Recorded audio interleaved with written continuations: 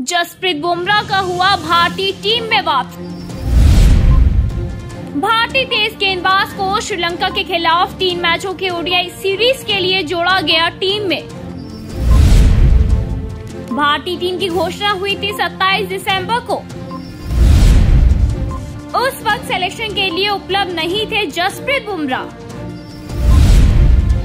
चोट के कारण टी वर्ल्ड कप से ही बाहर चल रहे हैं बुमराह। अब उन्हें श्रीलंका के खिलाफ ओडीआई सीरीज़ के लिए कर लिया गया है, भारतीय टीम में शामिल।